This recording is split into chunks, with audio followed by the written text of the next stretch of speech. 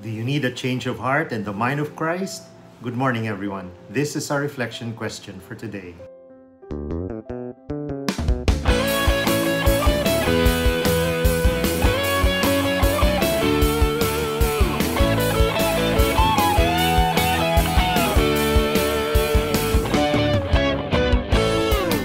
Once a king was walking through the streets of the capital city when he came upon a beggar who immediately asked him for money.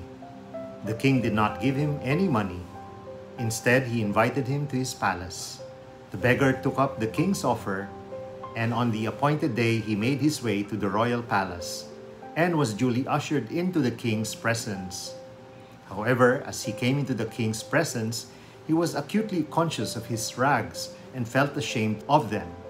They were an eloquent symbol of the wretchedness of his life. The king, an exceptionally kind man, received him warmly, took pity on him, and among other things gave him a new suit of clothes. However, a few days later, the beggar was back to begging on the streets, dressed in his old rags. Why did he give up the new suit? Because he knew that to wear it would mean that he would have to live a new life. It would mean giving up the life of a beggar. This he was not prepared to do. It wasn't that the new life did not appeal to him. It was just that a change of life would be slow, painful, and uncertain. In other words, he was too much steeped in habit to change. In today's gospel reading, Jesus replies to a logical question raised by some Pharisees on why Jesus' disciples feasted while John's disciples and all the Pharisees prayed and fasted. Our reflection today revolves around the metaphors Jesus used.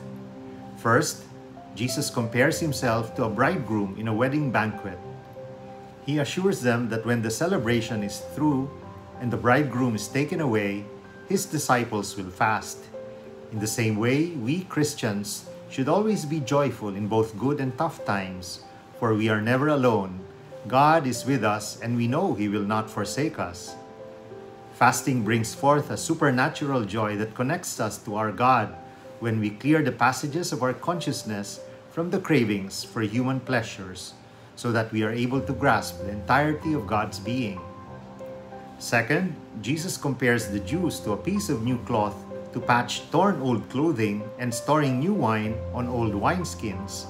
The old clothing will only tear and the wineskin will only burst, leaving to waste the acts of mending and storing we do.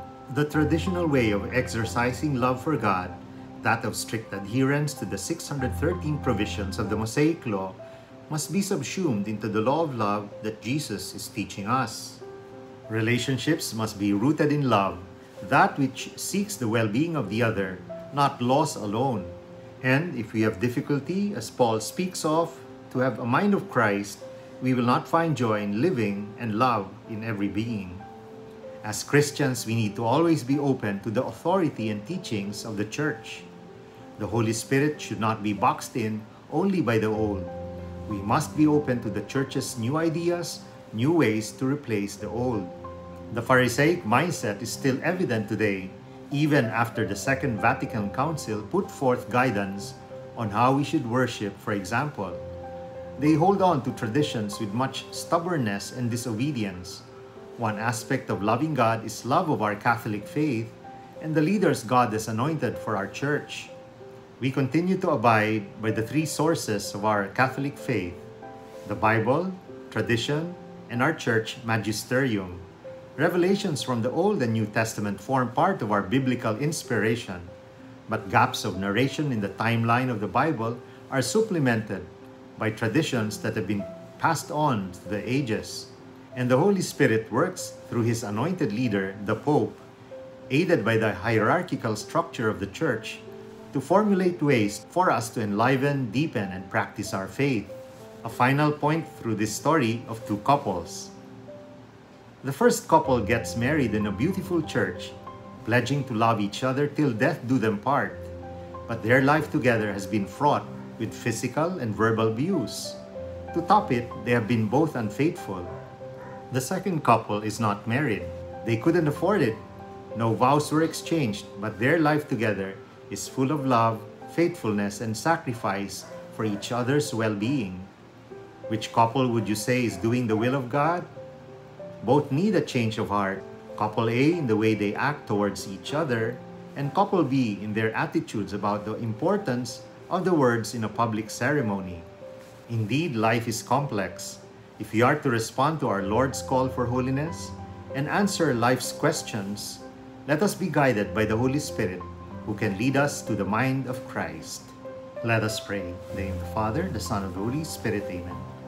Heavenly Father, let your Holy Spirit guide me in all areas of my life so that I will be obedient to your will and to the commandment of Jesus to love one another. This I pray in Jesus' holy and mighty name. Amen. In the name of the Father, the Son, of the Holy Spirit. Amen. God bless your families, brothers and sisters. God bless our Catholic faith and couples for Christ.